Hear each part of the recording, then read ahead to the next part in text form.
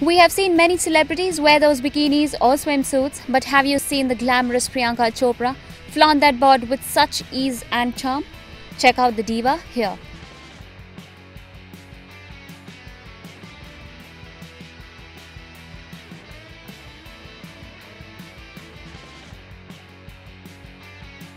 Priyanka, however, will appear alongside Dwayne The Rock Johnson and Zac Efron in her Hollywood debut, Baywatch.